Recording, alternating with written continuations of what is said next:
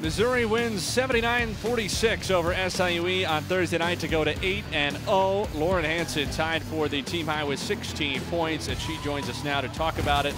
And uh, Lauren, I'm going to do something unusual. I'm going to start by asking you about last game when you had a career high 34 against Lehigh on Sunday, and it felt like maybe you carried some of that momentum over into tonight.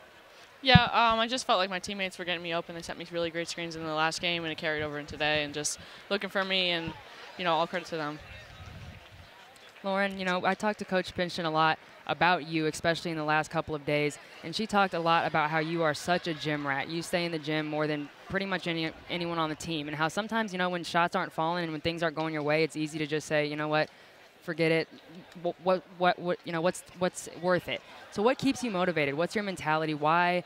What drives you to stay in the gym and just be such a hard worker?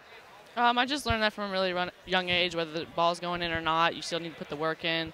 Um, so if it's going well, put the work in. If it's not going well, put the work in and just be disciplined and getting it in even when you don't feel like it.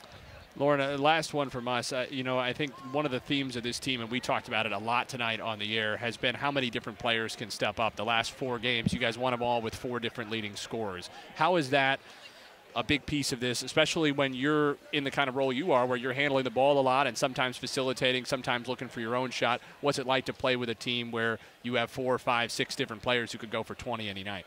Um, it's a lot of fun because uh, we don't care who gets the credit. We just want to get like we just want the win. So it doesn't matter who scores the most, whatever. We're looking for each other, and it's just a lot of fun to play with each other because you can't lock in on one of us. You have to pay attention to everybody, um, and it just opens up the floor. So it's a lot of fun.